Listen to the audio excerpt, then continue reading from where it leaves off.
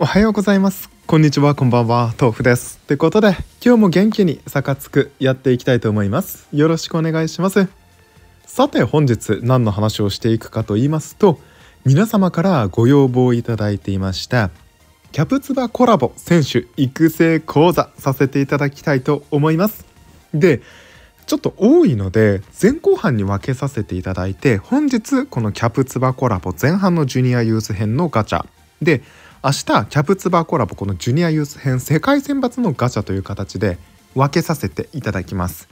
とは言っても結構人数いるので、まあ、選手のね性能解説っていうのはそこそこに、まあ、あの選手の性能解説動画を見ていただいてですね今回は彼らのスキルっていうところにフォーカスして話をしていけたらと思います。で前提なんですけど今回バランスの選手っていうところでロベルト本郷で使うっていうところを一定きちんと念頭に置いて考えていきます。まあ要するにキャプツバコラボで使うのであればっていうところですよね。ということでそれも前提に見ていってください。さあ早速やっていきます。人数多いですからね。で若島津と若林この2人の選手なんですけどこの2人に関してはつけるスキル個人的にはおすすめなもの同じです。タックルとロングパスですね。まあ両ゴールキーパーともに素晴らしくゴールキーパー能力が高く、まあ、万能で頼りになる選手だとは思います。メインスキルがセービングっていうところも同じですね。若林は A ランクでブロック持っていて若島津はオプティマス持ってます。これはもうスルーしましょう。でまあそうなってくるとセービングじゃないところでゴールキーパーに貢献できるスキルをつけるって意味では両選手同じなんですよね。でもちろん飛び出しスキルが余っているのであれば S ランクのそれつけてもいいんですけどきっとそんな余ってないと思いますレアなんで。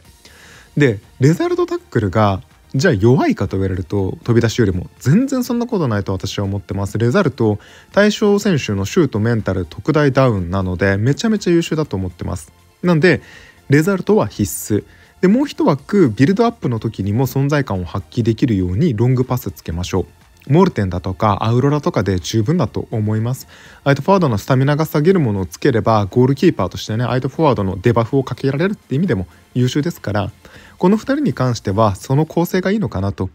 2人とも優秀なゴールキーパーですからちょっと若島津尖ったところありますけど、まあ、言ってもね若島津もセービング能力とか普通に SS で高いですし特徴でもねしっかり底上げされますからなんか変なことせずに普通に無難にしっかり丁寧にうん、タックルとレザルトタックルとロングパスつけていってあげてください。そしたら字と見ていきます。タックル SA マーク SA パスカット S パワー SB のセンターバックです。まあ、特徴も込みできちんとディフェンス能力の底上げがされる選手ですね。タックルが得意です。キーマン特徴でもタックル上がってます。でメインスキルタックルなんでここに関してはもうメインスキルに任せちゃいましょうタックル。2枠余ってますが選択肢もう本当に私ここも少ないと思っていてパスカットとロングパスが無難です。A ランクで一応優秀なシャドウマークを持っています。相手選手の相手フォワード選手のシュート中ダウンっていうね A ランクとはいえすごく優秀なマークありますので、まあ、マークは一定シャドウに任せるとパスカットは必須ですよね。であとはロングパスです。パスカットなんですけど私いつも言いますがシルフィーがいいです。ここに関してはねもうシルフィー信者とかっていうよりもあのシルフィーパスカットが今星5確定スカウトチケットのルガニから手に入りかつ普通に強いからです。シルフィーめちゃめちゃおすすめです。ぜひシルフィーつけてあげてください。もちろんもっといいパスカットあればつけてもいいですけど変になんかうんこの選手スキルの餌にするのもったいないなとかって思ってつけるぐらいだったらちゃんとねディフェンス選手全員のスタミナ中回復もあるシルフィつけてあげましょう。で、まあ、そうなるとタックルパスカットマーク全て一応スキルが揃うことになるので空いた一枠でパスをつけましょうって話ですね。まあ、ジトもきちんとパス能力もともと上がりますからパス B ありますからビルドアップでも先ほどね説明したゴールキーパー両名と同じようにビルドアップでも存在感発揮できるようにパスつけるのがいいんじゃないでしょうかさあおつつめおつおつつめじゃないお次は松山ですねこの選手は DMF で使うかセンターバックで使うかっていうところによってもちょっと変わってくるかなは思い思いますが基本的にちゃんと守備できるように育てるっていうのが大前提にくると思ってください。メインスキルイーグルパスですね。優秀なロングパススキルです。受け手のシュートをダイアップして相手ディフェンスのパスカットを特大ダウンさせてくれます。かつ味方ディフェンスのスタミナも中回復します。で A ランクのシルフィ持ってますね。まあ普通に強いです。ワイルドイーグルで自分自身のスタミナ管理も得意な選手。まあ本当に万能ですね。ただここまで見ていただいて分かる通り守備系のスキルがちょっと不安です。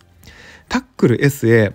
マーク S パスカット SA なのでちゃんと守備させましょう。特にセンターバックで起用するにしても DMF で起用するにしてもここは必須です。で持ってる中で一番いいタックルスキルで私はいいと思います。であえて言うんだったら相手フォワードのシュートを下げるか対象選手のドリブルを下げるかどっちかのタックルがいいと思います。で私だったらタックルでドリブルを下げるタックルにしますね。で1対1できちんと勝てるようにしますセンターバックで起用するのであれば1対1で負けるわけにいかないんですけど結構ね松山のこの特徴で自分自身のタックルががっつり底上げされるタイプじゃないんですよね。なんで対象選手のドリブルを下げるタックルをつけてあげるとこの特徴でのタックル底上げのなさっていうところを補えるのかなと。でもう一枠はもうマークがいいと思います。特にロベルト本郷はマークフォーメーションコンボで85%強化が入りますからそういった意味ではマークすごく必要ですというか入りますフォーメーションコンボに。でマークでフォワードのシュートを下げる。それこそシャドウマークだとか、えーと、フェリアスマークみたいなものをつけてあげるといいのかなと、うん、思いますね。きちんとタックルでボールを奪うっていうところはもう最低限やらなければいけない。ディフェンダーですからね。求められるところですし求めたいところかなと。思います。さあそしたらお次石崎行きましょう。ちょっとですね言い訳させてください。こっから4人説明雑になります。もうこれしょうがないです。あの 許してください。まず石崎そして、えー、ソーダこの2人ですけどあのねお互いドリブルが A と B しか上がらないっていう攻撃面の能力が低い選手なんですよね。ただお互いスキルは両方守備的なんです。エンコラージャマークラベージタックルとか。でカミソリタックルスパイシーパスカットとか。え特徴で、えっと、鉄壁サイドバックのソーダは守備底上げされますし一応バランスサイドバックの石崎はちゃんとね最低限パス取りダイアップとかも持ってます。でこの2人に関してはもともとタックルパスカット持ってますとか、まあ、マークタックル持ってますってとこではありますがプレスタに合わせてちょっと育ててあげましょう。で特にロベルト本郷ドリパスの85%強化ありますから石崎は私だったらドリパスつけます。ドリブルとロングパス。でドリブルに関しては相手のミッドフィルダーのタックルを下げるドリブルがもうおすすめです。言ってもドリブル能力ね低いので。でこれはあのソーダに関しても同じです。両名ドリブルつけましょう。で相手ミッドフィルダーのタックルが下がるドリブルが両名おすすめです。うん、大切なところだと思います。シャープネスドリブルとかカットスルードリブルなんかがそれにあたるので是非検討してください。でもう一枠石崎はロングパスをおすすめします。あのまあまあまあまああるものでいいです。そんな変に無理にいいものつけなくてもいいと思います。うん、アウロラとかモルテンで十分です。つけてあげましょう。ドリパスがきちんとロベルト本郷のフォーメーションコンボで上がりますし、まあ、マークも上がるっていうところでめちゃめちゃねドリブルパスマークっていうところがはまりますからまあここできちんとねドリパスつけて育ててあげるといいのかなと。でソーダはドリブル1個ともう1個私だったらロングパスじゃなくてマークにします。もともと鉄壁サイドバックで守備戦っていうところもありますしマーク AB もありますしロベルト本郷のマークバフっていうところもありますからまあね本当に守備させるって意味でマークつけますね。で何のマークつけるかっていうと私だったら一応悩ましいですけど相手フォワードのシュートが下がるマークにします。カミソリタックルとかって全然弱いタックルじゃないんですけど相手フォワードのシュート下げるわけじゃないのでメンタル下げるので、まあ、マークでシュート下げてあげればねあの仮にタックルでボール奪えないとかマークでボール奪いきれなかったとしても決定力下がれば十分だと思いますからサイレントだとかあとはそれこそフェリアスだとか、まあ、シュート下げるマークつけてあげましょう。はい。でお次、えー、立花双子いきましょうこの2人なんですけどあのパスシュートドリブルシュートっていうところの構成以外が、まあ、ほぼほぼ能力も同じですセントラルミッドフィルダーでドリブルが得意かインサイドハーフでパスが得意かの違いだけですね。でこれは結構ね人によると思うんですが私は両名ともにマークはつけていいかなと思います。せっかくこの1点以上リードしてる時にディフェンス能力大アップがあるのでまああのフォーメーションコンボサッカーは自由だが85%強化のマークあることも考えると、まあ、マークは1個つけてあげましょう。でまあそんなにいいマークつけなくていいと思いますがタングルドだとか、まあ、もしくはねちょっと余裕があるのであればえっと何がいいかな？ミッドフィルダーのスタミナ回復できるようなマークでもいい気もしますがあんまりミッドフィルダーのスタミナ回復するマーク自体が強くないスティッキーとかが強くないのでまあディスルートとかね。ある中でいいものつければいいと思います。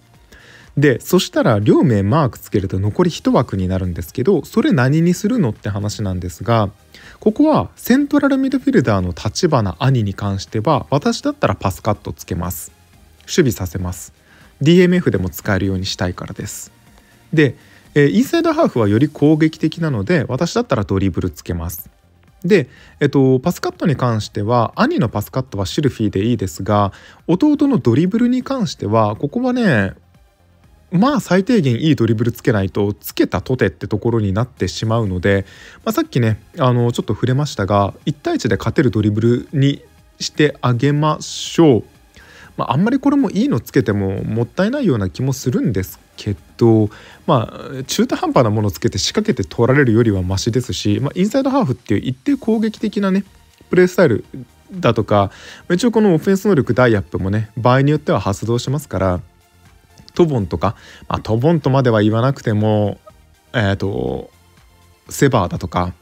えー、まあそういったところまあリニアだとかそういうものをつけてあげるといいのかなと思います。さあちょっと雑に4人の説明をしましたが 残り4名ね。本番いきましょう。まずは美咲くんです。めっちゃ強いですね。パス SS ドリブル SA トラップ SS シュート S です。でまあ能力もね素晴らしいけど特徴も良くてオフェンス能力大パス特大アップ。シュードリ特大トラップ大とか、えー、パス大トラップ中パス意識中アップとかね素晴らしい特徴でも来てます。で美咲くんなんですけど唯一の弱点が決定力です。で強みはパス取りです。もともと持ってるのがアンプリダクタブルパスですね。超理想を言うのであればショートパスが発動するチェーンドリブルをつけたいです。めちゃめちゃハマるはず。セイクリッドドリブルとかね。もしもないんだったら持ってる中で一番いいドリブルつけてあげましょう。おすすめは本当にセイクリッドとかです。チェーンドリブル。したらアンプリダクタブルパスがより生きてくるので。でそうすると逆に1枠しかシュートをつけられないので、まあ、通常シュートつけるかロングシュートつけるかって話になるんですが私だったら通常シュートつけます。言っても OMF なので、まあ、遠くからも必要ですがゴールから近い位置できちんと決めきってほしいからですね。特にドリブルつけると前に運ぶことができるようになるので運んで近い位置まで運んだ後に決めきる力が欲しいです。おすすめはいつも通りオプティマス・ウィムジーです。てかオプティマスがあれ星5確定スカウトチケットで手に入るんですけどジャンピングボレーで自分のスタミナ中回復してシュートドリブルメンタルの一定時間特大アップっていうめちゃめちゃコスパいいんですよ。それが無料で手に入っちゃうのでオプティマスつけましょう。オプティマスシルフィーはマジでコスパいいシュートとパスカットなので多用してください。でお次翼くんですね。メインスキルドライブシュートです。シュートリ特大アップ。ゴールキーパーのセービング大ダウンの破格のロングシュートですね。まあ何でもできます。ドリブル6000シュート6000いや素晴らしいですね。パスも5000あります。ボールは友達でトラップキープパス特大アップと、まあ、オフェンス能力大パス特大アップ全能力大アップとバランスの小アップもあります。まあ強いね。これは強いです。で翼くんなんですけどついでに新田の話もさせていただいてこの2人って構成すごい似てるんですよね。お互いメインシュートがロングメインシュートじゃないメインスキルがロングシュートでサブ A ランクのドリブル持っていて両選手シュートドリブルが強い選手になってますと。でそうなった時にスキルの構成も私これ同じでいいと思ってます。まず S ランクのドリブルもうここは間違いなくつけてあげましょう。あのー、新田に関しては、まあ、ちょっと惜しんでもいいですが翼くんはもう惜しまずつけましょう一番いいやつつけましょう A のゲイルも悪くはないですがやっぱ S 必須です。対人能力きちんと高めてあげることで本当に強力な選手になりますから S のドリブルは必ずつけましょう。特にロベルト本郷はドリブル85%強化がありますから小さなバフが大きな力になります。S 必須。まあ新田も翼くんも。でもう一枠は私だったらオプティマスにします。オプティマスしか言わないやんお前って思うかもしれないけどマジでいいんですあれ。オプティマス使ってください。ジャンピングボレーもできるしねコスパいいからもちろんもっといいシュート持ってるんだったらつければいいと思うんですよ。タイガーショットとかね。あるんだったらタイガーショットつけてあげてください。うん。あのステディとかねスタウネンとかあるんだったらつけてあげればいいです。余ってるんだったらね。ただ無理してそれつけなくてもオプティマスが十分強いですって話です。はい。ってことでこの2人に関しては。2人ともね冒頭に言いましたけどロングシュートなので通常シュート1個オプティマスつけて、まあ、S ランクのドリブル、まあ、持ってる中で一番いいやつつけましょう。うんトボンとかがおすすめです。相手のねディフェンダーのタックルを下げるトボンとかね。特に翼くんなんかトボンつけたら多分マジで1対1強いのでめちゃめちゃおすすめです。そしたら最後小次郎くんいきましょう。これ私個人的には一番好みな性能なんですよね。あんま彼もちょっとスキルの構成悩むようなところではないんですけどめちゃめちゃ強い。シュート SS ドリブルエッセイです。孤高の虎でオフェンス能力大シュート特大ありつつパワードリブル特大シュート大かつシュートトラップスピード大アップ持ってます。メインスキルのタイガーショットは現状サカつく最強のシュートだと思っています。一定時間シュートが超特大アップ、まあ、レジアスと同じ上昇量ですね。かつパワーも特大アップしてゴールキーパーのセービングを特大ダウンします。プラスでこれジャンピングボレーも打てます、まあ、最高ですね。あと A ランクのエクストリームトラップ持ってます。さあこうなってくるともうロングシュートは必須ですよね。この強さこの決定力ですから遠くからも打てるようにしたいです。まあ余ってるんだったらドライブとかつけてあげましょう。めちゃめちゃいいと思う。めっちゃいいと思う。でもう一個はもうドリブルでいいでしょう。ここ変に悩まなくていいと思います。一番いいドリブルつけましょう。まあ理想はね相手のディフェンダーのタックルを下げる。アファシなんてとか本当にいいところでいくとね。アファシなんてとかまああとはそれこそトボンだとか。うん。まあそういったものをつけてあげるといいと思います。本当に1対1にも強いドリブルエッセイで持っていたりとか特徴でもねちゃんとドリブル底上げされますからあのちゃんとドリブル特大アップの底上げもありますからちゃんと勝てるようにしてあとは決定力生かしてのロングシュートでいいんじゃないでしょうか。まあ、特にねロベルト本郷ドリブル85%強化があるのであのドリブルがまあまあ強い選手っていうのは生かしやすいんですよね。でただやっぱり決定力の部分はねあの当然85%強化ないからこそこういった決定力がめっちゃ高い選手っていうのは試合を左右できるそういう貴重な選手になります。ぜひねあのこの優秀な4トップ、えー、まあ3トップか、うん、小次郎くん翼くん美咲くんの3人に関してはきちんと育ててあげるとまあ強いね選手になるんじゃないかなと思います。ということで本日の動画はここまでにいたします。ぜひぜひね他の皆さんのおすすめのスキルの構成だとかあのー、こんなやつにしたら強かったよみたいなのがあればコメントいただければ嬉しいです。ご視聴誠にありがとうございました。明日は世界選抜編のね、スキルの考察解説していきますから、ぜひそちらの動画もご視聴ください。ということで、ここまでご視聴ありがとうございます。皆様の良きゲームライフに乗ってます。豆腐でした。バイバイ。